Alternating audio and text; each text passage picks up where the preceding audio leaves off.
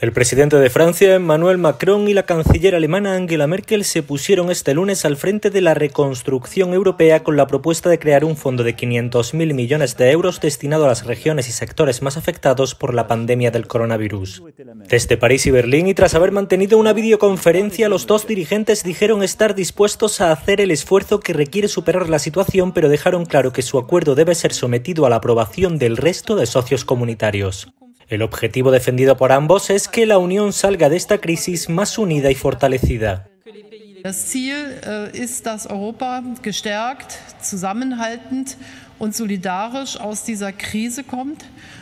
El fondo completará los distintos esfuerzos nacionales y las medidas decretadas por el Eurogrupo y deberá ser reembolsado no por los beneficiarios, sino por el conjunto de Estados miembros. Su proyecto insta a la Comisión Europea a tomar prestado ese dinero del mercado a través de una emisión de deuda y a transferir esa cantidad a las regiones y sectores más castigados por la pandemia en base a unos criterios que deberá decidir Bruselas.